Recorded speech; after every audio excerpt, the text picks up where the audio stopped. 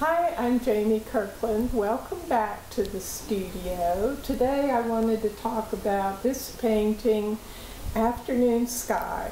One of the things I just so love about living in New Mexico is, especially in the spring and summer as the day goes on, we just get the most beautiful buildup of cumulus clouds and they're just white puffy cotton balls against a bright blue sky. So I painted this one to share.